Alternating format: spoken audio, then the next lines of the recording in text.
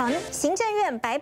改版了辖下机关改组的修正草案呢，接下来我们就要来帮大家讲一下。现在呢有六个部会要进行改组，其中比较大项的跟动，帮各位整理出来。环境保护署呢，未来会叫做环境部。好，原子能委员会会更名叫做核能安全委员会，这个部分呢将会是一个独立机关。至于交通部的观光局也会升格变成观光署，这个旗下要负责的分别是观光立国还有观光主流化。至于内政部的营营建署呢，则是负责国家管理署，还有国家公园署。至于来看到原本的中央气象局，则是会升格变成中央气象署。好，当然，其实这些跟动呢，还必须要送到立法院来做审议。因此，现在呢，在这个朝野立法院的党团，他们的态度又是如何呢？国民党团总召曾明宗他认为说，这回行政院的组织调整，配合能源政策，还有商业发展，像是环保署升格为部。经济部的商业司升格为署，原则大方向呢，国民党这个部分是支持的，但是希望不要有太多的意识形态，还有政治考量，能够落实尊重专业。好，这位民众党团总召邱成远他认为说，行政院其实组改延宕了很久，期间呢还历经了科技部改制两次等等，现在呢认为行政院应该盘点相关的配套措施，并且充分和朝野各党团还有产业界来做沟通。未来呢，民众党在审查的时候会严审做把关。好，但是呢，民进党团这个部分倒是认为，其实呢，在他们内部是有不同意见的。例如呢，水利署要在经济部或者是环境部，他们就有不同的看法。因此呢，确定在本会期其实已经来不及处理了，会先来做内部的整合，等到下个会期再做处理。不过这回行政院的组改拍板之后，哎，现在大家都说已经要爆发所谓的抢人大战了。怎么说呢？因为如果我们以环境部来看呢，现在。在呢，如果成立之后，除了原本的三个署之外，现行的毒物及化学物质局会改名叫做化学物质管理所。管理署好，现行的环境检验所还有环训所整并为国家环境研究院。当然，在升格环境部之后呢，确定的是会有三名的次长，而且会多出一名十四职等的次长，还有四名十三职等的署长缺。因此呢，现在大家都在说，哎，包含了抢位、抢人、抢地，是不是都要超前部署了呢？好，当然现在很多的问题，恐怕呢还要大家来好好关注一下。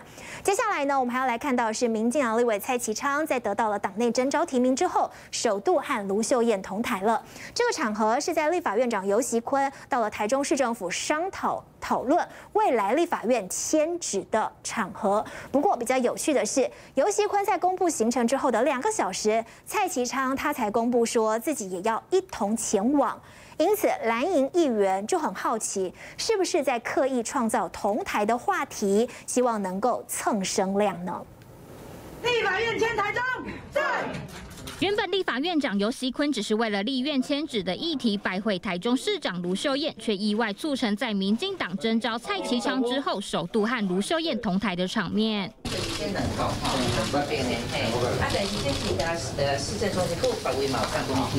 两人一前一后到场，分别坐在游锡坤两边，在镜头前没有任何互动，讨论的都是立院迁址的话题，却在事前行程公布上充满浓浓的选举味。早在前一天下午六点二四分，尤锡坤幕僚公布拜会卢秀燕的行程，但在两个小时后晚上八点十四分，蔡启昌助理才发布彩通宣布将一同前往，难免让人觉得有刻意要创造话题的用意。蔡副院长宣布要参选台中市长之后，也知道这个行程哦，所以说他也想要来参与这个讨论，那会让人家觉得说他是不是想利用这个机会来博一点版面，来蹭点声量。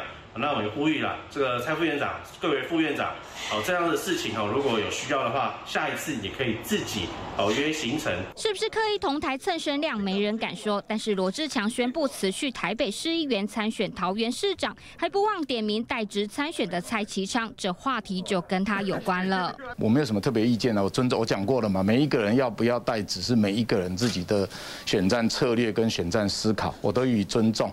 林佳龙。在担任立法委员的时候，也最后决定了辞职，来告诉所有的选民，他要来选台中市市长。蔡其昌，你呢？我想这是你必须面对的一个议题。尤其代职参选最长最先，也都是民进党所喊，也希望民进党不要绿能。